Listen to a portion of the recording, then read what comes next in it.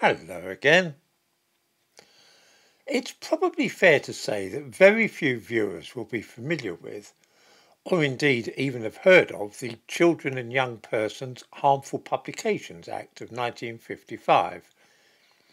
This piece of legislation, though, is worth considering for the light which it sheds on modern anxieties and neuroses about things such as smartphones. Strange to say, there was very strong opposition throughout the 1950s by many teachers and not a few parents to the reading of comics, which were believed to harm children mentally in a number of ways, not least by making them unable to focus on and absorb longer printed text. There was a widespread feeling that the reading of comics tended to shorten children's attention spans and harm their vocabulary. Some of the worries, by the way, that we currently have, in fact, about TikTok and the use of smartphones. The captions and speech bubbles in comics were usually composed of simple short words, and some people worried that this didn't stretch a child's ability to read. Comics were discouraged at school and forbidden in many middle class homes. Even so called educational comics, such as Look and Learn, were frowned upon by a lot of teachers. It was not only educational considerations which were causing harm, however. Other and graver fears were being expressed in the 1950s about comics. Comics for children were a relatively new medium at that time, and although they're now remembered favourably as one more of those relics from a gentler time, they were felt then by many professionals to be undesirable and even dangerous. There had been story papers for children for many years, things like The Magnet, which of course introduced Billy Bunter to the world.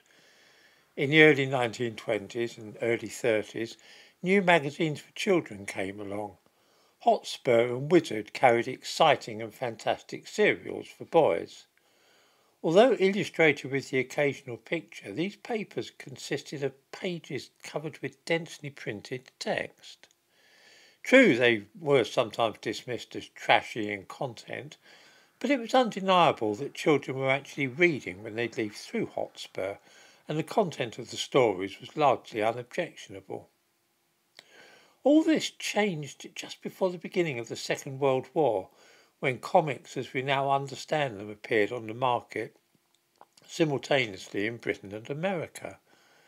There had been much earlier incarnations of the format, comic cuts having been published as early as 1890, but children's comics as we know them really began circulating in the late 1930s. In June 1938, Superman made his debut in America in the first edition of Action Comics. The following month saw the publication of what would become one of the most popular British comics, The Beano, which introduced Lord Snooty and his pals to the world. The very different characters of Superman and Lord Snooty thus appeared for the first time within weeks of each other. The previous year had seen the first issues of Dandy in Britain and Detective Comics in America, the comic in which Batman was first featured in 1939. It's difficult in retrospect to understand what a menace comics were thought to be to children in the 1950s. Today we see them as representing all that was harmless and good about childhood at that time. The idea that comics featuring Superman and Lord Snooty could have been seen as subversive, insidiously promoting homosexuality, damaging to education, and likely to incite crime and disorder must seem vanishingly unlikely to viewers. Nevertheless, concern about comics and their effects upon children and young people began in the United States and spread to this country, resulting eventually in a moral panic which led to a hastily enacted piece of legislation aimed at tackling what came to be seen as a terrible scourge. In 1954, a book was published in America which summed up the fears that many parents and teachers had about the new medium of children's comics.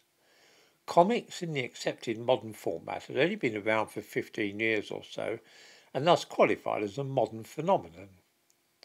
Seduction of the Innocent by psychiatrist Fredric Wertham set out on its cover the theme which Wertham expounded in the book the influence of comic books on today's youth.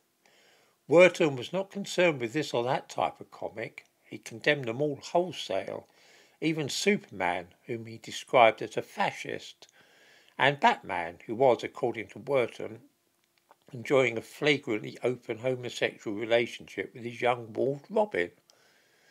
Reading through Seduction of the Innocent today is an eerie experience for the entire thesis could have been taken from a modern newspaper denouncing the perils and ill effects of the internet on children.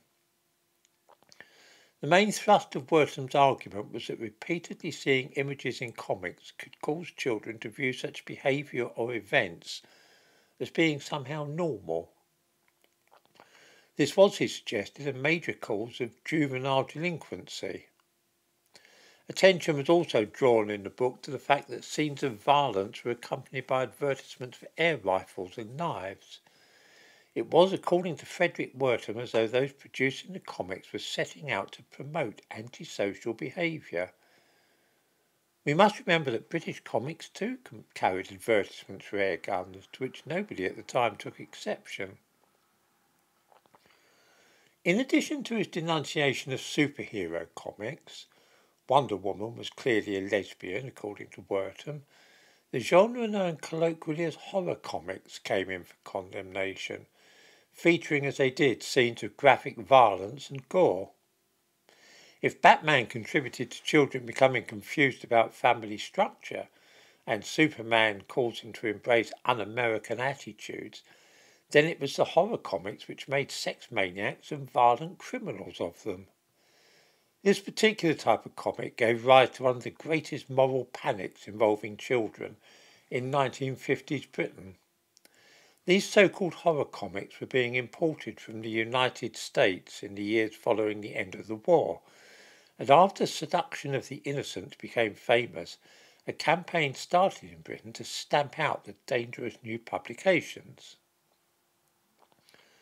In 1954, the National Union of Teachers staged an exhibition in London of what they considered to be some of the more harmful material being circulated. A reporter from the Manchester Guardian went along and reported on what he saw there. Skeletons embracing young women, scaly monsters doing appalling things to brunettes in tight dresses and barely clad girls, watching the approach of axes thrown by blue hands, there is a morbid preoccupation with death and rotting corpses. Truly, these were the video nasties of the time. The one question about which everybody seemed a little vague was what harm these comics showing skeletons and murderers actually caused to children. Journalists were told that statistics painstakingly acquired over several years by a master in a secondary modern boys' school show that bright children soon become bored by horror comics and reject them, but the less intelligent are more susceptible and read them over a much longer period. This is the danger. From this reading of the situation, the danger appeared to be simply that unintelligent boys would waste their time reading these comics but why that would be a bad thing was not at all clear to anybody. It's in the nature, though, of moral panics that reason tends to go out of the window as everybody gets caught up in the rush to condemn whatever it is that's threatening society. It was just the same with horror comics. Whether action should be taken by the government, or on the other hand, if parents should take the initiative, the plain fact was that millions of these comics were floating around and something had to be done about them. The Archbishop of Canterbury had a meeting with the Home Secretary, Lloyd George, during which he talked of the strong public feeling aroused by horror comics. Once the Archbishop of Canterbury had joined the fray, it was only a matter of time before legislation was framed which would protect children from American comics. The Children and Young Persons Harmful Publications Bill was duly drawn up and by the early spring of 1955 was making its way through Parliament. There was much debate about the best way to define a horror comic, and at one point it looked as though newspapers too would be included within the scope of the bill. Common sense prevailed and the possibility of press censorship sank into oblivion. There have only ever been two successful prosecutions under this Act, both in 1970. Smartphones are just the latest in the long line of things children have access to that we have become frantically worried about over the last couple of thousand years. In the description to this video, I give a link to an essay of mine on my Substack account, which gives some uh, account starting 500 BC of the sort of panics that people have had about what children are looking at and reading and thinking about. Uh, click on it, you can read it for nothing.